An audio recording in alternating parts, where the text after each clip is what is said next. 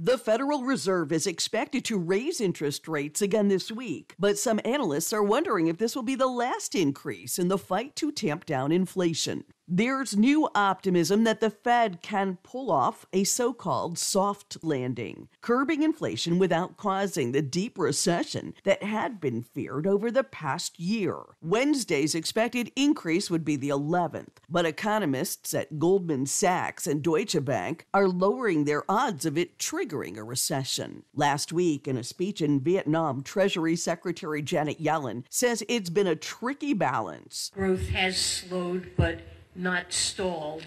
And we hope that we believe we are and hope we will remain on a path to bring inflation back down to normal levels. Inflation numbers have been coming down, and consumers are seeing drops in prices for used cars, furniture, appliances, and clothing. I'm Jackie Quinn.